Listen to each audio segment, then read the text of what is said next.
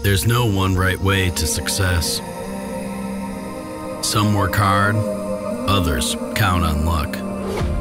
Jambo fellow Kenyans, is this industry we supposed to be take it as an investment industry or we supposed to be hit and run type of industry? Forex and penny options trading is not gambling as long as you know what you are doing. But if you get into this industry without knowing what you are doing, then it becomes an automatic gamble. What makes people think Forex is a scam is how they approach the Forex uh, industry.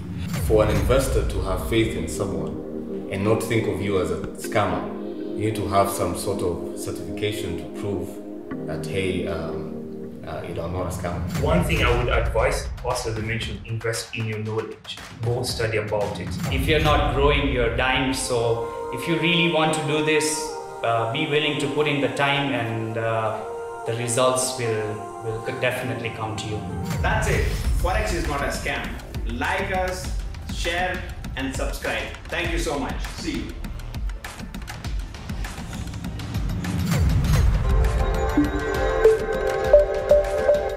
F for Forex. Hosted by Tushar Vyas.